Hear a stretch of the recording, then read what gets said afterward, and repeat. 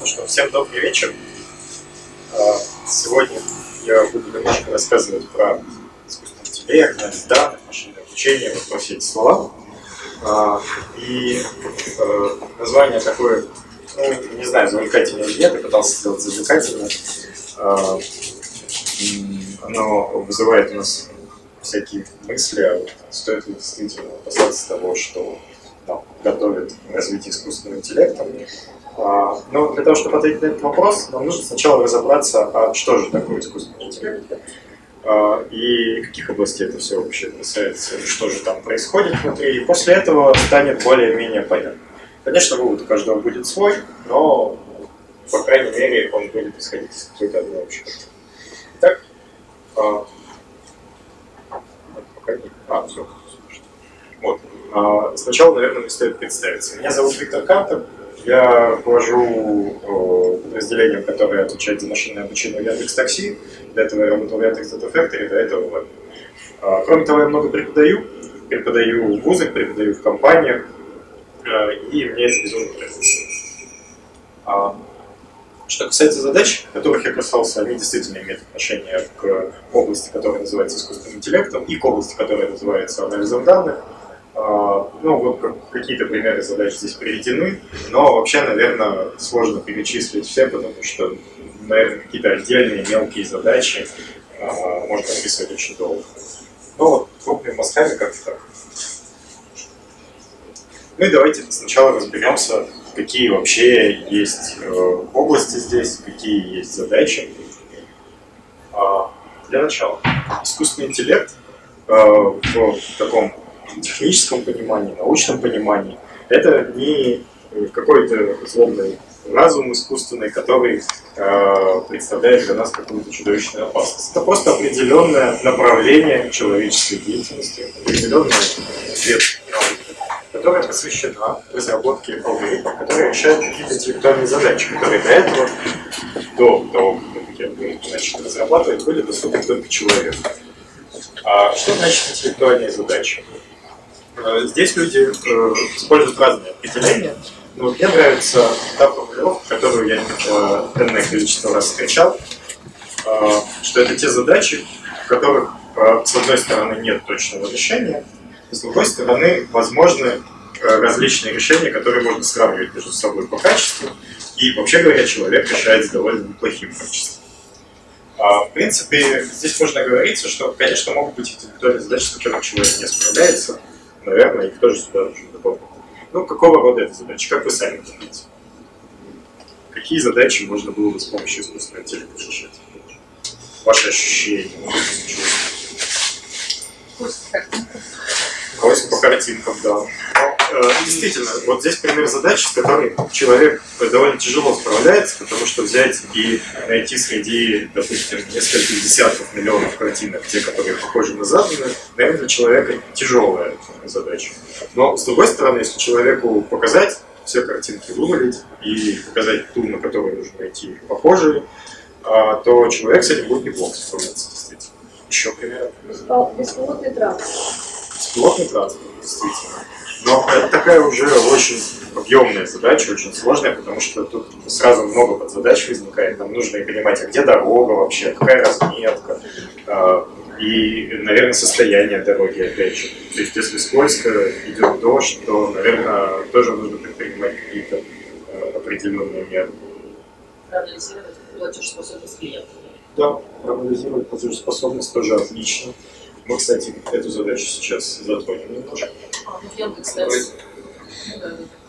Яндекс Такси, наверное, как раз у вас, да? Поиск ближайшего, это же автоматически происходит. А, ближайшего водителя. Машины, да, человек. Это происходит автоматически, но а, я пока, наверное, не могу прокомментировать, используется или нет и как там машинное обучение, но я думаю, что в обозримом будущем у нас будет публикация в каком-то открытом источнике, там где-нибудь на Хабракабре, например, еще в каких-то местах. Но вообще, да, в эти задачи можно использовать тоже э, методы искусственного интеллекта. А, ну вот смотрите, мы можем пытаться решать какие-то интеллектуальные задачи, а, не обязательно на основе каких-то данных. Мы можем их решать с помощью того, что у нас у самих уже есть какой-то опыт.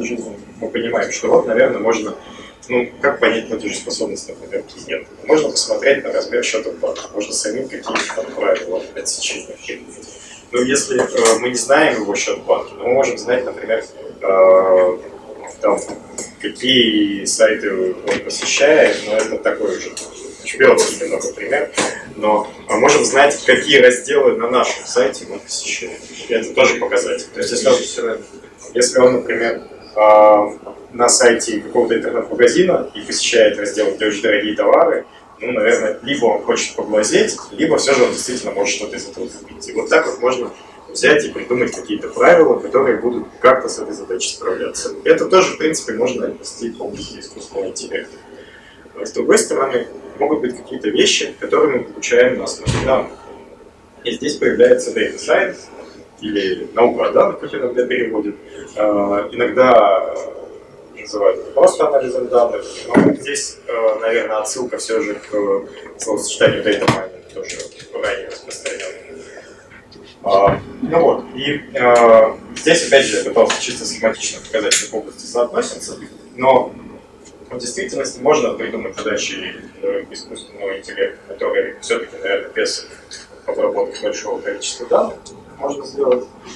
А, и, наверное, можно придумать задачи, которые увлекают обработку большого количества данных, какой-то осмысленный анализ, но немножко не про искусственный интеллект. А, ну, например, это задача какого-то разведочного анализа. Вы вообще не знаете, что вы в данных ищете, просто пытаетесь по-разному посмотреть, и сами, как человек, глядя на разные визуализации, разные картинки, пытаетесь сделать какой-то. Э, здесь действительно не идет речь о том, чтобы компьютеру прям вот заменить человека в принятии какого-то решения, э, но в то же время э, какой-то умный анализ данных происходит. А, пересечение довольно большое, и в этом пересечении возникает машинное обучение. А машинное обучение а, – это область, посвященная восстановлению каких-то довольно сложных зависимостей, которые, а, быть может, даже вы восстановите не в том виде, в котором они действительно в природе есть, но в том виде, в котором вы сможете их хорошо приближать. Это о чем? Это о том, что, допустим, вас интересует, какой будет цена на определенный товар через месяц. Или, допустим, вас интересует, какой будет температура в определенном регионе завтра. Или, допустим, вы хотите научить компьютер определять по тексту э, отзыва, это отзыв с позитивным окрасом или с негативным. Во всех этих случаях вы имеете какой-то объект, для которого вы хотите что-то понять, что-то сложное, что-то, что понятно человеку, но непонятно машине. То есть фактически вы пытаетесь просто научиться восстанавливать зависимость каких-то параметров. Э, о, сейчас, какого-то ответа, ну, например, тональность отзыва, от э, параметров ну, например, слова, которые есть в музыке. А, также возникает много других областей. А, текст майнинг и natural language э, процессинг — это про э, работу с текстами. Не вся работа с текстами подразумевает применение машинного обучения, но очень значительная ее часть. А, сейчас. А, также появляется компьютерное зрение, работа с какими-то изображениями, с видео. А, ну и, конечно, бывают а, области, которые еще больше всего себя намешали. Например, информационный поиск. Здесь вам часто нужно искать по текстам, но по картинкам тоже нужно искать, вот как мы уже сегодня вспомнили. И машинное обучение тоже активно используется. Но можно и без машинного обучения просто посчитать, например, насколько часто слова из вашего запроса встречаются тексте сайта. И вот просто по этой частоте э, отраживать. Э, вот эта область про то, как же нам какую-то информацию найти большом а, Ну и есть области, стоящие немножко особняком вот этой работы с данными разных типов. А, ну, например, э, предиктивная аналитика, э, которая включает в себя не только методы использования машинного обучения, а, и э, решает задачи спрогнозировать, что же будет с клиентом завтра, что же будет с продажами в магазине завтра. Ну вот. А, как вы видите, очень часто а, эти все области пересекаются с машинным обучением. И вообще говоря, именно машинное обучение часто ассоциируют вот с тем самым ужасным искусственным интеллектом. Давайте поговорим о том, что же скрывается в этом машинном обучении. А, ну вот, например, задача, которую мы уже упоминали. Платежеспособность э, в каком смысле? В том смысле, что кредит сможет вовремя вернуть. А, вот, допустим, а, представьте, что у вас есть банк, вы даете кредиты, и, наверное, вы будете заботиться о том, что вам их вернули. Вот это досадное обстоятельство заставляет нас изучать историю э, взятия кредитов разными людьми. А здесь у нас каждый сталкивается соответствует какому-то параметру кредита, каждая строчка это один кредит, э, взятый когда-то вот первый параметр – это количество денег на счете у человека, который брал кредит. Второй параметр – это длительность э, месяцев, э, ну, срок кредита. Э, нет, не волнуйтесь, я не буду все столбцы пояснить. Э, и в конце э, у нас ответ. Он вовремя вернул или не вернул. Ну, понятно, что на самом деле ситуация сложнее, там платежей по кредиту, наверное, много, и он какой-то просрочен, какой-то нет, но в первом приближении вернул вовремя, не вернул. И э, как же стоит перед нами задача? Вот если мы банк, задача перед нами стоит так. Как бы нам для новых людей, для которых мы можем те же самые параметры выписать, те же самые числа, э, получить прогноз? Все же, вернет или не вернет? Но если мы смотрим на эту задачу как исследователи, то э, эта задача несколько шире. Мы можем смотреть на нее так. Нам бы научиться по выборкам такого вида, называемым обучающим, а, настраивать какой-то алгоритм, который может делать прогнозы, так, чтобы на новых выборках без ответов эти прогнозы получились. То есть задача не в том, чтобы разово спрогнозировать, а в том, чтобы, в принципе, научиться из вот этого делать алгоритм. Здесь э, возникают некоторые э, термины, часто используемые в машинном обучении. Ну, во-первых, обучающая выборка, э, требует во-вторых, модель. Ну, что такое модель? Вот здесь нужно чуть подробнее остановиться. Допустим, вы хотите спрогнозировать стоимость дома а, в зависимости от его площади и удаленности от центра Москвы. Ну, так, очень простой пример, такой глупый. А, тогда вы можете действовать, например, следующим образом. Давайте считать, что удаленность у нас стоит по столько-то рублей за километр, а, ну, точнее наоборот, должно быть, чем дальше, тем, тем. Ну, в общем, а, удаленность мы умножаем на один вес, а э, площадь умножаем на другой вес, ну, стоимость квадратного метра, допустим. А, и там, суммируем это все и получаем нашу оценку. Вот то, что я сейчас описал, это пример модели. А, что здесь нужно настраивать на обучающий выбор? вот те веса, на которые мы домножаем параметры дома, вот их нужно настроить на обучающий выбор. Как настроить? Так, чтобы хотя бы на обучающий выбор модель выглядела правдоподобно. Ну, не совсем. А, и затем мы можем пробовать применять эту модель на новые выборки, на тестовые, ну и смотреть, что из этого получается. А, модель с настроенными параметрами, ну в моем примере с настроенными весами, но моделей много разных существует. А, называется обученной моделью. А, ну и она должна давать какие-то разумные прогнозы на новых данных. Ну как должна? Если ее обучить достаточно аккуратно, то она может давать хорошие прогнозы на обучающие выборки, на плохие, на тестовые данные. И вот здесь возникает работа для тех людей, которые действительно занимаются машинным обучением и анализом данных. То есть как обучить модель так, чтобы не было каких-то хитрых эффектов, чтобы она, например, просто не взяла и не заучила ответ. Ну, давайте обсудим еще несколько примеров. Ну, во-первых, конечно же, поиск – это вполне себе пример применения машинного обучения. Нам нужно по запросу выдать наиболее релевантные результаты. А для этого нам, наверное, нужно посмотреть на сам запрос и на содержимое разных а, вариантов ответа разных сайтов. А здесь мы тоже можем догенерить какое-то количество чисел по запросу, по сайтам, которые у нас есть. Э, и э, на основе какой-то разметки, э, релевантен сайт запросу или нерелевантен, который получается людьми. Вот сидят такие люди, асессоры, в большом количестве, вот же у Яндекса, Гугла, у любой поисковой компании, сидят и размечают запрос, соответствует этому сайту или нет. И потом на этом все обучается алгоритм. А, предсказывает будет соответствовать Ну, другой пример, прогнозирование пробок. Uh, Здесь уже э, задача более сложная.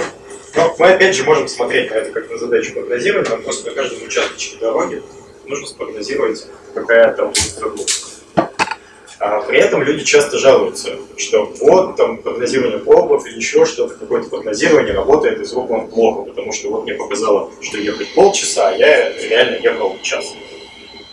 А, тут важно понимать, что когда такие алгоритмы разрабатываются, можно ориентироваться только на ошибку на каких-то исторических данных, и как ее можно померить. Ну, можно посмотреть в одном примере, насколько отклонилось, в другом, насколько отклонилось, в третьем, потом усреднить. Ну, а если мы усредняем, то если у нас на 10 тысяч примеров попадется один какой-то сумасшедший, когда мы ошиблись 10 раз, то это на усредненную ошибку принципиально не повлияет. А, поэтому, если у вас случилась ситуация, когда вас сильно уманул прогноз пробок, здесь нужно а, не грустить, что так плохо прогноз пробок сделали, а скорее грустить, что статистика такая жестокая штука. Потому что с точки зрения статистики ваша единичная проблема э, не представляет э, большой потери. Но это, конечно, грустно, и разработчики все равно пытаются выкручиваться и какие-то особо э, ужасные случаи отлавливать. А, но, к сожалению, не всегда получается. Ну и, конечно, тот пример, который вы называли. А, самодвижущаяся машина тоже требует э, решения огромного количества задач, огромное количество интеллектуальных задач. А, и тут тоже вовсю цветет машинное обучение. Таким образом, если мы продолжаем двигаться к нашей цели, понять, а что же есть машинное обучение, мы уже можем дать какой-то ответ. А, но ответ, конечно, не очень полный, он скорее про наиболее частые задачи, которые возникают в машинном обучении. Кстати, самодвижущаяся машина как-то вот не ложится в эту задачу, она ложится в много таких задач. Но не суть. А, по набору каких-то признаков, каких-то чисел, нам нужно научиться определять для него ответ. И у нас есть какое-то количество примеров, в которых есть признаки и ответы. Нам нужно научиться для объектов, для которых это а, ну, то есть фактически мы просто восстанавливаем зависимость ответа от признака. Ну, смотрите, здесь, кажется, ничего ужасного не звучит. Никакого ИИ, который сделает что-то там, неприемлемое с человечеством, вроде бы здесь не сокрыто. Но для того, чтобы еще больше развеять вот эту вот завесу а, чего-то таинственного вокруг э, этих методов, скажу пару слов о том, а как же вообще сами методы работают. Как нам спрогнозировать зависимость чего-то от там, кучи параметров. Но один вариант это линейные модели, то, что я вам сейчас рассказывал. Давайте просто будем, ну, вот в данном примере зависимость от размера, э, смысле от площади, давайте мы будем просто с каким-то весом брать каждый параметр, суммировать, и вот это будет прогнозировать нашу величину. Вот, казалось бы, очень тупая идея, очень простая идея, но используется очень часто, работает часто очень хорошо. А вы э, можете сказать, наверное же не все зависимости на свете какие-то вот линейные, простые, что просто можно с весами сложить. Но дело в том, что как только вы собираете достаточно много признаков, достаточно хитрых, вы уже неплохо можете зависимость приблизить линейно. А, ну, то есть, фактически вы не э, выясняете реальную природу какого-то явления. То есть, если вы прогнозируете таким образом, а, ну, что можно с помощью линейных моделей прогнозировать. Ну, такая немножко искусственная задача, но, допустим, вы прогнозируете по тексту э, отзыва, какую оценку человек поставит, э, поставил бы вот этому товару.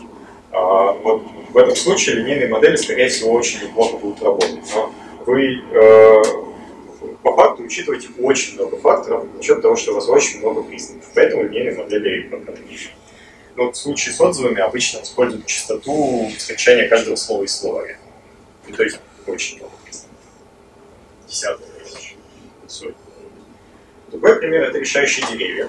Решающие деревья э, чаще всего упоминаются в контексте э, банковской отрасли, потому что их очень легко визуализировать. Устроено они следующим образом. То есть у вас какой-то объект. А, вот это дерево построено на э, тестовой ну, не на тесты, на игрушечной выборке э, жертв э, крушения Титаника. Э, там ну, сколько-то человек, для них есть какие-то параметры, пол, возраст, вот этот параметр соответствует количеству родственников. Э, и э, на основе этих параметров предлагается спрогнозировать, а выжил бы или не выжил. Ну и вот смотрите, как решает это дерево. Давайте у объекта первым делом проверим пол. Если э, пол женский, то тогда, скорее всего, Если пол мужской, то тогда проверим возраст. Если возраст больше 9 лет, ну там просто только целый число, это светит, то тогда, скорее всего, умер. Потому что в первую очередь сажали кого на шлюпке? Женщин и детей. А если же э, возраст все же правда больше 9 лет, правда в смысле, правда меньше 9 лет, то есть он еще ребенком был, то здесь возникает вопрос, а были ли с ним э, еще какие-то родственники. То есть, видимо, семьи тоже как-то там выпиливали специальным образом. Но, кстати, нужно быть очень аккуратным с интерпретацией вот таких картинок. Вот я э, несколько раз э, ошибался, что значит э, одна ветвь, другая вот в этом месте. И э, на каждой лекции я успешно объяснял, почему правильно так, потом почему правильно так. И, в принципе, аудитория всегда соглашалась и говорила, да, это логично. А, вот. Ну, и такие деревья можно строить автоматически. Просто каждое вот это разбиение по какому-то признаку подбирается э, по принципу выбираем разбиение, которое лучше всего отделяет классы. То есть лучше э, отделяет те группы объектов, которые мы должны научиться делить. Ну, если у нас задача определить, выжил, не выжил, или там вернет какой-нибудь То есть это блок схемы? Ну, в некотором смысле, да. А, ну вот. И э, решающие деревья прекрасны тем, что э, они позволяют строить очень сложные алгоритмы, которые имеют э, очень сильную, э, очень большую прогнозирующую силу. А, в чем там идея? Вот если одно дерево прогнозирует в целом, ну, так это просто какие-то там правила очень простые, то э, много деревьев э, построенные, допустим, на разных случайных подвыборках, мы можем объединить, ну, например, устроив между ними голосование. То есть построили много решающих деревьев, просто смотрим, за какой ответ больше всего, ну или если нам нужно число спрогнозировать, ну, например, там, цену какой-то ценной бумаги э, через час, то тогда мы просто можем усреднять их ответы. И э, оказывается, что построенные на немножко разных группах деревья очень сильно различаются, а когда мы устраиваем голосование между сильно различающимися алгоритмами, получается очень здорово, они делают свою работу хорошо. И можно провести аналогию с тем, как на э, там, каком-нибудь конкурсе, если мы собираем жюри, наверное, интереснее всего людей с разной точки зрения собрать, потому что если с одинаковой, ну, не долго того, что мы собрали а, Ну и, конечно же, нейросети. Нейросети развивают модели, Давайте с какими-то весами возьмем все наши признаки, посуммируем. Дальше посмотрим, а, вот эта сумма получилась больше или меньше порога. Если больше порога, передадим а, какое-то значение дальше. И вот из таких элементов, из таких нейронов можно собирать большие нейросети, но это еще не очень большая. Каждый вот такой вот часто называется обычным слоем, и стараются нейросети делать так, чтобы свой шел, каждый слой шел дальше. То есть не сильно перепутанно. А, а каждый слой это набор признаков? Набор нейронов. Но вот здесь вот у нас признаки, здесь у нас уже результаты суммирования да, какие-то. А дальше? А, ну и взятие какой-нибудь линейности. Потому что если мы не будем добавлять какую-нибудь линейную функцию, то просто у нас здесь просуммировали, здесь просуммировали, здесь это все в одну сумму схлопывается. Дальше вот здесь суммируем уже то, что здесь. А что поменяется? Мы просто функцию добавляем какую-то нелинейную функцию да. и а, снова суммируем. Да но мы суммируем с разными весами. Вот на, на каждой связи, на каждой связи, вот этой, каждой стрелочке есть свой вес. И этот вес настраивается при обучении на обучающем итоге. И после каждого слоя там новый вес и новая да, э, да, нелинейная да, функция. А как да. выбирается нелинейная? А нелинейная функция обычно выбирает просто по принципу, давайте возьмем вот эту. Ну, то есть там, вот сейчас в последнее время очень популярно, сейчас очень популярна вот такого вида нелинейная функция. Давайте, если у нас сумма получилась до нуля, то будем возвращать ноль. А если после нуля, то вернем то, что получилось сумма. Такая очень простая нелинейность, но она на самом деле нелинейность. И вот зачем э, так делать, у нас получается композиция большого количества функций. То есть там функция от функции от функции от функции. И оказывается, таким образом можно приближать к очень сложной зависимости. Что доказывает более сложная архитектура нейросетей. Вот здесь каждый маленький блок – это слой. Причем слои здесь устроены сложнее, чем вот здесь. И слои разных цветов – это слои там, разных типов, ну, не суть. А, главное, что вот такого рода большие, глубокие нейросети действительно неплохо справляются с некоторыми задачами. Задачами анализа изображений, задачами анализа текста. Но по сути это просто формула, в которой очень много подстановок функций. Ну вот, и хотелось, э, перед тем, как мы все же обсудим какие-то выводы, э, рассмотреть еще одну задачу, прям совсем практическую, совсем из моей практики. Вот недавно мы сделали прогнозирование точки Б в такси с помощью машинного обучения. А, ну, сразу скажу, что, разумеется, у нас много задач, которые э, машинного обучения делаются. Просто э, в этой задаче э, получен э, такой результат, который довольно просто объяснять. Его э, не обидно рассказывать. То есть есть иногда результаты машинного обучения, которые вы получаете, и понимаете, что если вы сейчас кому-то расскажете, то вы сильно подведете ваш бизнес, потому что вы придумали клевую штуку, которая экономит очень много денег. Эта штука не про экономию денег, а про удобство пользователей. Ее тоже немножко рассказывать жалко, но так или иначе, в принципе, если кто-то тоже последует этому примеру, ну, значит, больше счастливых пользователей все же будет на свете. А, ну, а, и а, вот эта вещь тоже несколько переломная в моем взгляде на машинное обучение. Я просто до проектов некоторых про интерфейс в такси смотрел на все так, что нужно решать те задачи машинного обучения, которые понятный экономический эффект в ближайшем будущем дают. Это хороший прагматичный взгляд, и действительно можно переводить всякие оценки качества э, задач анализа данных э, в деньги. Но э, есть нюанс. Не все деньги мы можем померить. Можем померить прямо сейчас. Если мы делаем нашим пользователям хорошо, делаем так, что им удобно, делаем так, что они с удовольствием начинают чем-то пользоваться, то э, в глобальной перспективе, в перспективе нескольких лет, для сервиса это будет даже выгоднее, чем сейчас погнаться за какой-то сиюминутной выгодой. А, но вот, осознание таких вещей в целом моментально происходит, а главное, оно действительно на уровне там, того, веришь, не веришь, то есть действительно тяжело проверить. А, вот. Но, по крайней мере, мы можем померить качество, насколько хорошо мы угадываем, и просто этим порадоваться. Ну вот, какая здесь была задача? Давайте вы попробуйте предположить. По очереди будут появляться ответы, и нужно понять, вот это финальный ответ или нет. А, вот если это как задачу машинного обучения, то есть восстановление какой-то зависимости, то угадать точку Б это финальная постановка, как вы думаете, или нет? Ну, наверное, нет, хотя, в принципе, можно было бы сказать зависимость точки от чего-то. Ну, что такое точка? От чего зависимость? Понятно. Хорошо. Можно сформулировать это э, как задачу регрессии. Задача регрессии называется те случаи, когда мы числа прогнозируем. Не там даст, не даст э, денег долг, или там отдаст, не отдаст время. Э, это задача классификации. А именно какое-то действительно число. Вот э, у нас объекты это пользователи, у них мы можем какие-то признаки. Целевое значение координаты точки P.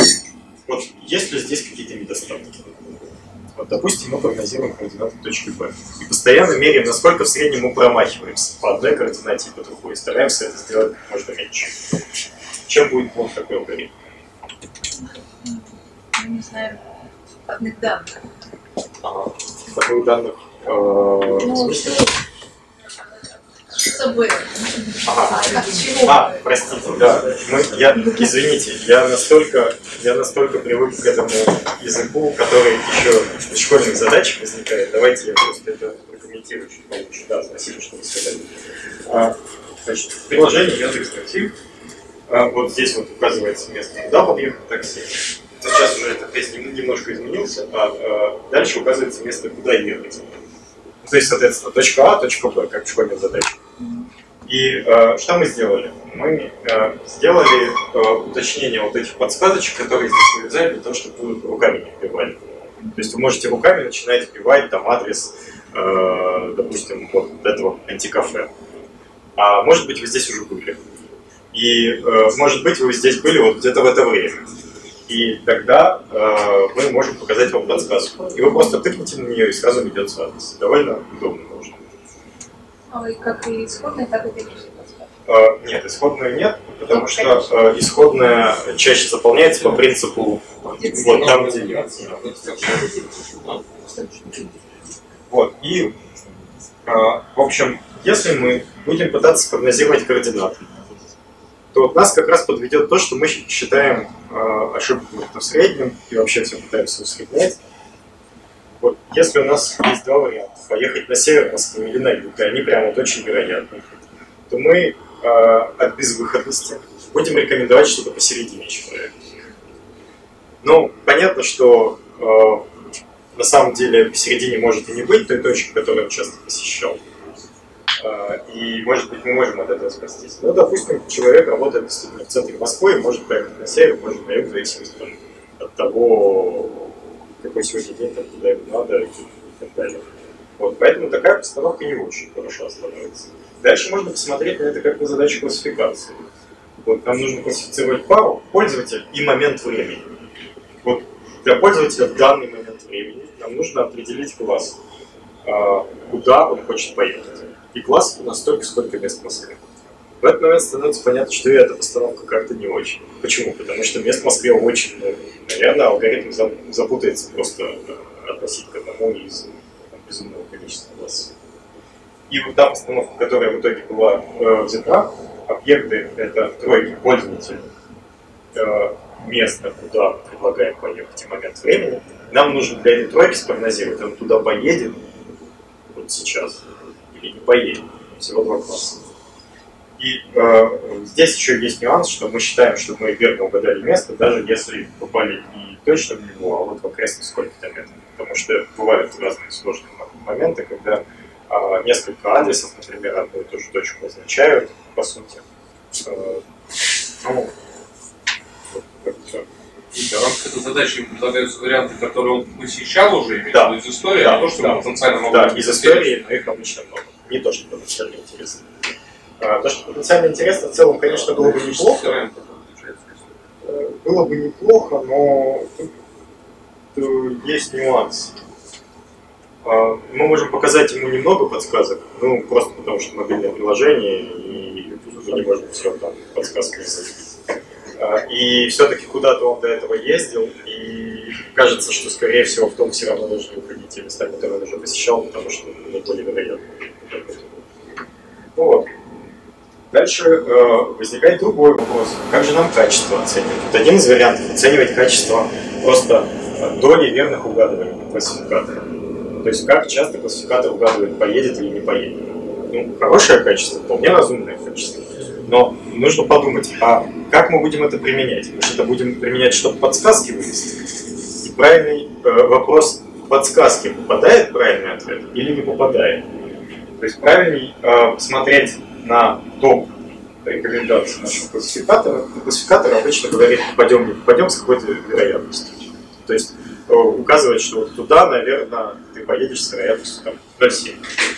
Вот. Можем посмотреть на те места, которые имеют наибольшую вероятность поездки, и посмотреть, как часто среди, допустим, первых двух подсказок попадается правильный ответ. И вот, казалось бы, такая простая вещь, как же качество нам замерить. И здесь тоже есть разные подходы, и не все из них одинаково хороши. А, ну вот, но дальше мы придумаем какие-то признаки объекта. Ну, здесь просто примеры, читать это совершенно не обязательно. Тем более, наверное, в конце это не очень хорошо видно. А, вообще признаков больше сотни. Ну, вот так каким-то образом мы считаем какие-то числа.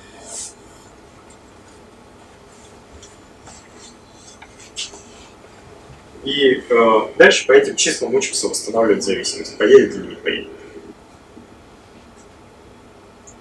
Ну и э, вот что интересно, у нас э, был какой-то простой эвристический алгоритм, ну, то есть просто вот захардкодили свой жизненный опыт. А, это, кстати, тоже можно отнести вот к искусственному интеллекту в каком-то смысле, но без обучения на данных.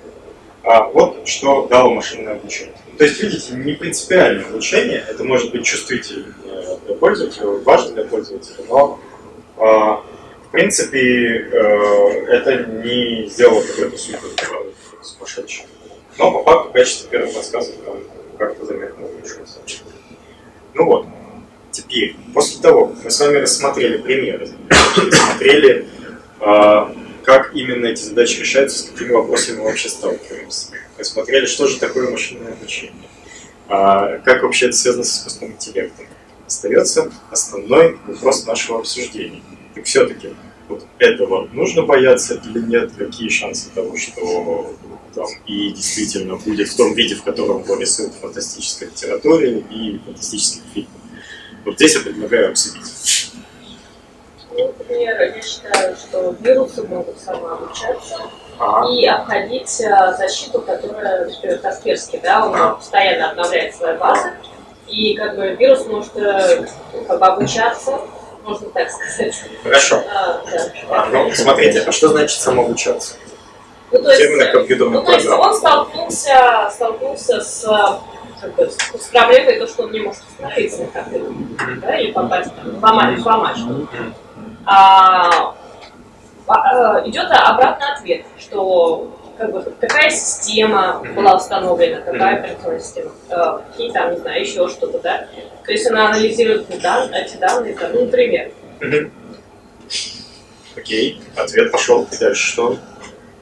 Вот, он все это анализирует. Вот, когда он да. анализирует, вот, исходя из того, что мы обсудили, а, он не делает какого-то творчества. Вообще, он да. выбирает из тех вариантов, которые, в принципе, у него заложены изначально при разработке. А, то есть, фактически, это просто дописывание, опять же, этой функции от функции от функции и так далее. Просто статистически. Я ну, и анализирую. Ну, э, фактически, вот этот э, анализ может привести ну, к тому, что, э, ну не знаю, э, как-то самоподобно будет доработан, но не будет чего-то прямо того, чего изначально не было и что не было заложено создателем. А, и э, здесь я предлагаю обратить внимание вот на что. Вот какие вопросы вообще человек решает при разработке э, чего-то с искусственным интеллектом человеку приходится думать, а как вообще задача там, машинного обучения или анализа данных, неважно, возникает здесь. Э, что вообще нужно прогнозировать? Как будут наши прогнозы использованы? А, что нужно оптимизировать, ну, в смысле, как настроить вот все эти веса, которые есть в модели.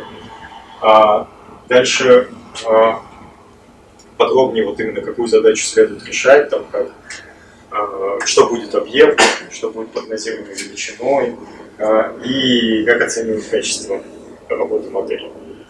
Это вот какие задачи решает человек. А теперь какие задачи решает компьютер. Компьютер просто восстанавливает целостность. Ответом вот параметр. Так вот, казалось бы, что такого ужасного в этом? Ну, действительно, вроде бы Э, на творчество в нашем понимании э, алгоритмы э, на основе машинного обучения не очень способны, но в то же время мы видим, что постоянно они решают все более сложные задачи, постоянно справляются а, с игрой в с еще какими-то сложными э, вызовами. А, ну, во-первых, нужно помнить, что каждый раз их для этого программируют люди. И сделаны для определенной задачи решения, не начинает решать кучу других задач. Но, с другой стороны, даже в таком виде оно представляет некоторую опасность, а потому что кажется, что все же в каком-то смысле мир захвачен Путин. Он будет захвачен э, повсеместным применением машинного обучения для того, чтобы прогнозировать разные вещи, для того, чтобы автоматизировать какие-то процессы. Э, но действительно это будет в рамках там, просто какой-то большой формулы, как каждая модель. Однако это не означает, что никто не расстанется со своей работой. Ну, потому что если какие-то задачи можно автоматизировать без людей, то значит можно уж как минимум сэкономить на людях какой-то прогрессии. Поэтому э, нечто печальное в захвате мира э, искусственным интеллектом есть, но в то же время не настолько драматичное, как, возможно, кому-то бы хотелось. Ну, а на этом я заканчиваю свой рассказ и готов ответить на вопросы Даша. Что вы думаете насчет Paperclip Maximizer? Чего-чего я слышу? А, классическая угроза а, по поводу искусственного интеллекта, о том, что а, мы получаем а, чуть более, а, чем а, примитивному искусственному интеллекту задачу произвести а, как можно больше железных скрепок, и он начинает извлекать а, железо для этих скрепок из крови. Общем, смотрите, это важная проблема. Э, вот я на эту проблему смотрю с точки зрения э, правильной постановки задач.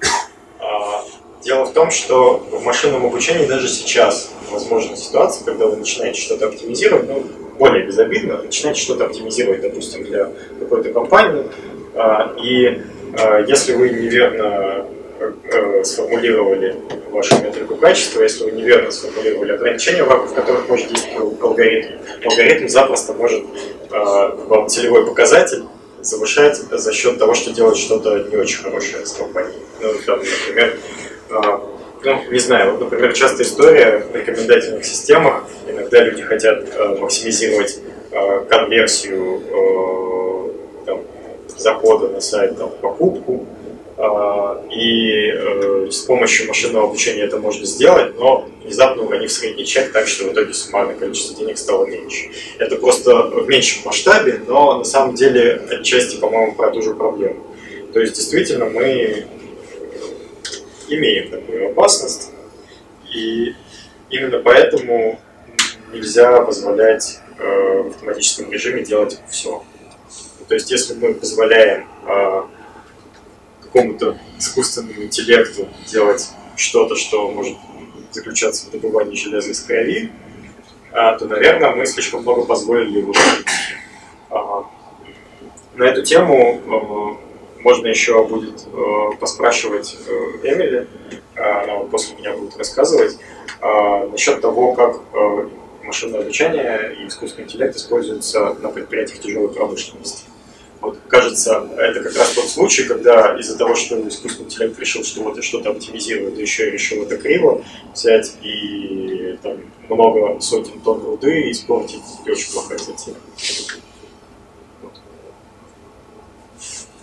А, не расскажите понятие сингулярности? А, ну, смотрите, я на тему сингулярности э, знаю только следующую формулировку, что это вот тот момент, когда действительно появится искусственный интеллект в том виде, в котором его фантасты рисуют. А, и а, действительно машины смогут самостоятельно как-то мыслить. Что значит самостоятельно мыслить? Это большой, большой вопрос. Дело в том, что непонятно, как это формализовать. Наверное, все знают про тест Тьюринга, который является попыткой как-то это формализовать. То есть давайте мы предоставим машине поговорить с человеком, и если она сможет человека ввести в заблуждение, что это она, ну, достаточно уверенно ввести в заблуждение, ну, в смысле, что она человек, то э, тогда будем считать, что она разумна. Но это всего лишь формализация.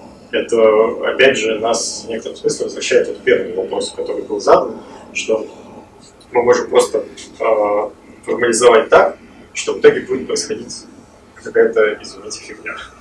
Вот так же и здесь, что мы формализовали, что, наверное, и действительно вот настолько хорош тогда, когда может выдать себя за человека. А является ли это правильной формализацией, никто не знает. Вот, поэтому мне кажется, что того момента, когда сингулярность действительно поступила и все смогут это четко, точно сказать, не будет до тех пор, пока мы не переформулируем достаточно четко, что такое сингулярность. Вопрос технологий. Да. А, я так понимаю, вы тоже статью читали про игру года. Ну, про прорыв, так сказать, в машинном ну, обучении. Ну, смотрите, это просто все знают. Это известная очень новость. Ну, я просто не так что-то давно не наткнулся. Скажите, а в чем принципиальное отличие, почему а, классическая модель, которая применялась и к другим э, подобным играм, не, не подходила так долго, как Go? Смотрите, обычно э, в игры играли не с помощью машинного обучения и не с помощью анализа данных. В игры играли просто какими-то алгоритмами, ну, скорее мистического характера, насколько мне известно.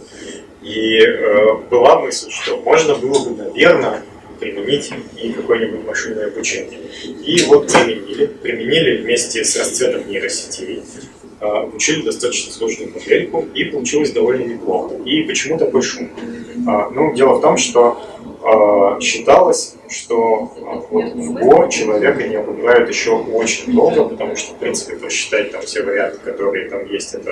Ну да, он считался последним оплотом, так сказать, вообще в этой сфере. Вот. Но оказалось, что если применить методы как раз из этой области, то, в принципе, прокатывает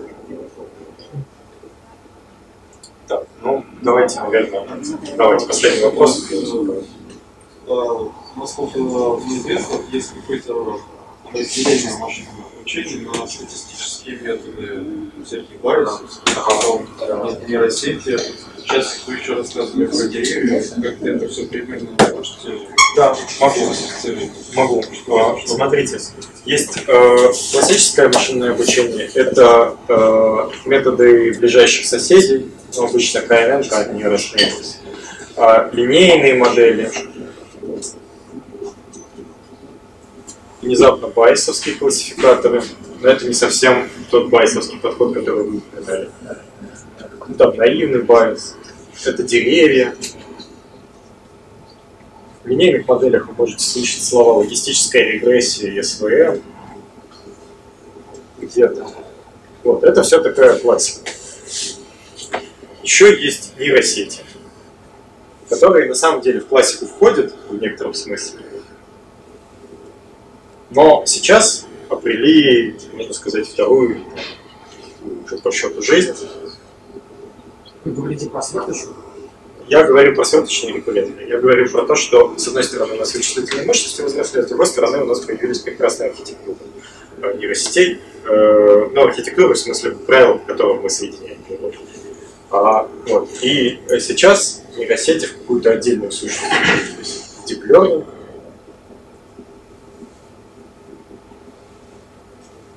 Вот. И э, есть еще, ну вот эти вот методы, они скорее статистического характера, а есть еще байесовские методы.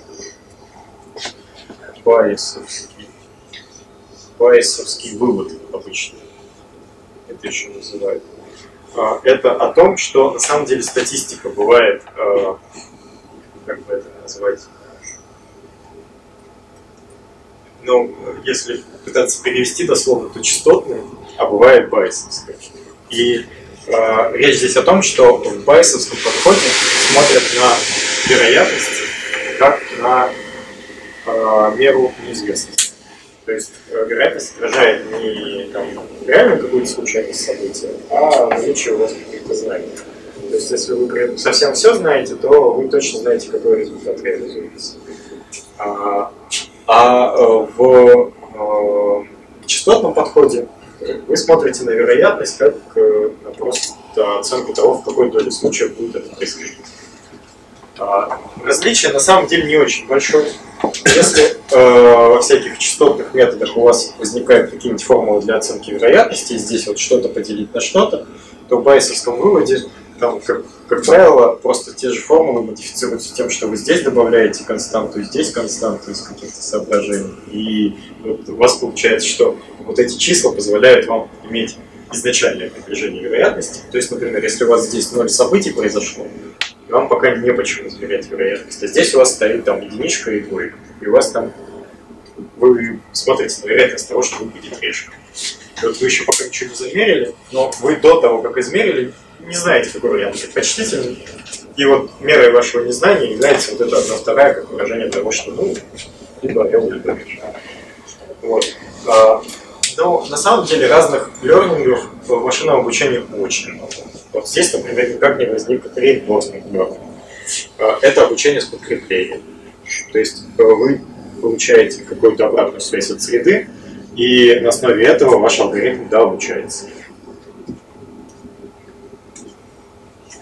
Если бы я попытался сейчас сделать полную классификацию того, что есть обучении, то я, скорее всего, провалился. Потому что э, эти методы еще неплохо пересекаются. То есть что-то можно отнести туда и туда, в зависимости от того, как вы на это смотрите.